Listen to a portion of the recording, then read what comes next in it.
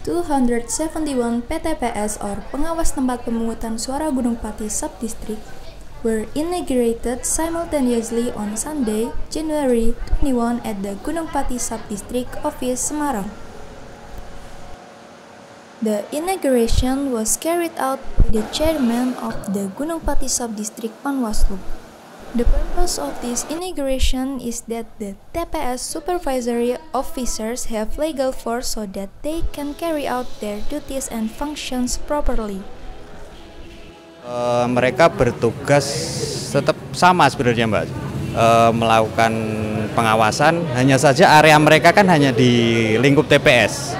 Nah, jadi selama uh, sejak dilantik mereka punya kewajiban juga menjaga proses pemilu ini terutama di wilayah TPS-nya.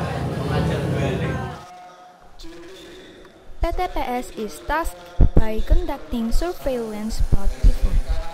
During the implementation and after the vote count to remain conducive to the simultaneous elections next February 14. Hanifa Gunung Pati, T-News reporting.